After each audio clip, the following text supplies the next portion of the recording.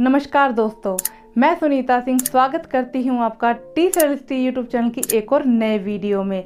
आज के इस वीडियो के माध्यम से हम जानेंगे गौतम बुद्ध के एक अनसुने रहस्य के बारे में। गौतम बुद्ध ने ऐसा क्या किया उस नीची जाति के लड़के के साथ कि वो महान बन गया? आखिर नीची जाति का लड़का महान कैसे बन गया? गौतम बुद्ध का उस नीची जाति के लड़के के साथ क्या संबंध था? दोस्तों, आपके सभी सवालों के जवाब आपको इस वीडियो में मिलेंगे। वीडियो को अंत तक ज़रूर देखिए, तभी आपको समझ आएगा। उम्मीद है और वीडियो की तरह आपको ये वीडियो भी पसंद ज़रूर आएगा। एक बार बुद्ध अपने भिक्षु के साथ भिक्षाटन के लिए किसी गाँव की तरफ़ जा रहे थे। तभी अचानक बुद्ध के पैरों में कांटा लग गया। कांटा इतना तीक्ष्ण था कि चुभते ही रक्त की धार निकलने लगी। बुद्ध के भिक्षु ने रक्त को रोकने के लिए एक कपड़ा फाड़कर बुद्ध के पैर पर बाँध दिया। इस घटना को कुछ लोग देख रहे थे, जो कि बुद्ध से ईर्ष्या करते थे। उन्होंने बुद्ध से कहा कि हम तो तुम्हें परम ज्ञानी समझते थे, लेकिन दर्द को तुम भी सहन नहीं कर सकते हो। तुम पाखंडी हो, और ये हमने सिद्ध कर दिया है। ये कांटे हमने ही बिछाए हैं। इस गाँव में तुम्हारा स्वागत नहीं, तिरस्कार होगा।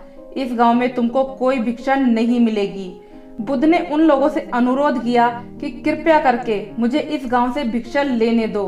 बुद्ध के ईर्ष्यालुओं ने बुद्ध का उपहास बनाते हुए कहा कि अगर तुम्हें भिक्षाटन के लिए इस गाँव में आना है तो तुम्हें अपने रक्त की बलिदानी देनी होगी। तुमको इस कांटों के रास्ते से गुजरना होगा। भगवान बुद्ध ने उनकी चुनौती को स्वीकार कर लिया और कांटों के रास्ते पर चलने के लिए अपने कदम बढ़ाने लगे।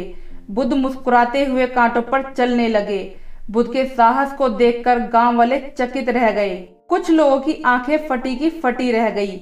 गाँव वाले सोचने लगे कि बुद्ध भिक्षा के लिए दूसरे गाँव भी जा सकते थे तो फिर कांटों पर चलकर क्या साबित करना चाहते हैं? गाँव वाले बुद्ध के संदेश को इतनी जल्दी नहीं समझ पाए। यहाँ पर बात भिक्षा की नहीं, बल्कि जीवन को बदलने की थी। गाँव वालों की भीड़ में एक सुमित नाम का युवक था। जो बुद्ध पर हो रहे अत्याचार को देखकर द्रवित हो गया। सुमित दौड़कर गया और बुद्ध के पैरों के सामने से कांटे को हटाने लगा। बुद्ध के ईर्षालु सुमित को रोकने लगे और गाँव से दाना पानी ना देने की धमकी देने लगे। सुमित ने किसी की ना सुनी और कांटों को हटाते हुए बोला, हे hey भगवान, आप इन मुट्ठी भर लोगों के लिए अपने आप को कष्ट मत दीजिए। आप गाँव में प्रवेश कीजिए। बहुत सारे लोग आपको भिक्षा देने के लिए आतुर हैं। बुद्ध ने सुमित को अपने पास बुलाया और आशीर्वाद देने लगे। सुमित पीछे हट गया। हे भगवान, आप मुझे छूकर अपने आप को अपवित्र और दूषित ना करें। महात्मा बुद्ध ने कहा, तुम अपने आप को दूषित क्यों कहते हो? छूने से कभी कोई भी दूषित नहीं होता। मनुष्य तो लोभ, लालच, घृणा, ईर्ष्या से दूषित होता है। तुम्हारे अंदर तो प्रेम भरा है। तुम दूसरों का सुख चाहते हो। तुम तो पवित्र हो। बुद्ध के बोल सुनकर कुछ लोग बोले, तुम तो अपने आप को बड़े ज्ञानी कहते हो। तुमको जाति का कोई ज्ञान नहीं है। तुम पाखंडी हो। बुद्ध बड़े ही शांत स्वभाव से कहते हैं, मानव से मानव की मानवता छीनना पाखंड की निशानी है। मुझे पाखंडी बोलकर यदि आपको संतोष मिलता है तो मेरे लिए दुख का कोई विषय नहीं है। कुछ लोग बुद्ध पर बरस पड़े, परंतु यह तो धर्मशास्त्र है। फिर यह पाखंड कैसे हुआ? बुद्ध कहते हैं, हमारी उत्पत्ति इस सृष्टि में हुई है।